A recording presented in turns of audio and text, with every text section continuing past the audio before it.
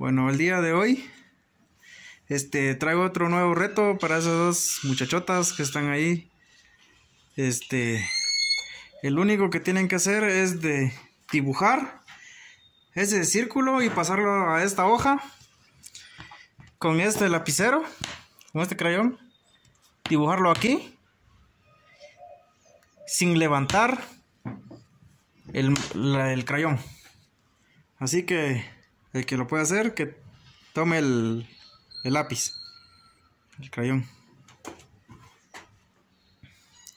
Piensen. Está fácil. ¿Cómo dibujar? ¿Tú? ¡Puta, qué ofertón! ¿Cómo dibujarlo sin tocar el... No, sí, dibujarlo en el otro lado sin levantar el crayón.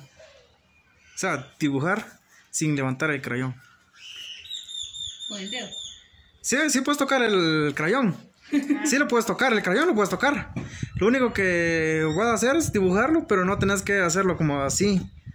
Y volverlo a hacerlo así y hacerlo así. O sea, sin levantar la mano. Sin levantar la mano. Ajá, o sea, todo directo, todo directo.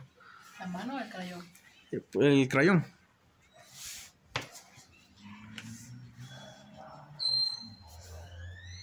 No, no, no, no, no, no, no, no, no, no, no, no. Bueno, sí.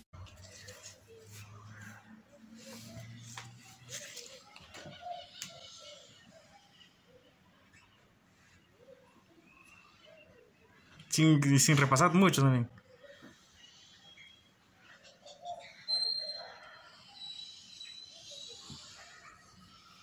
Interesante.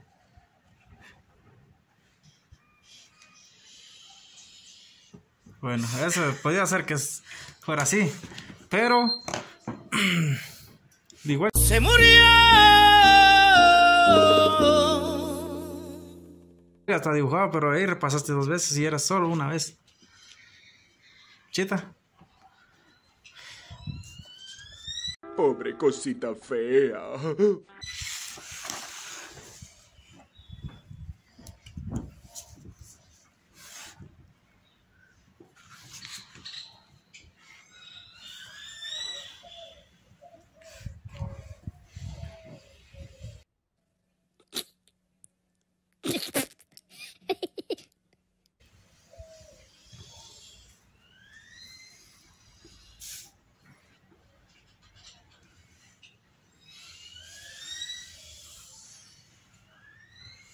¡Eso!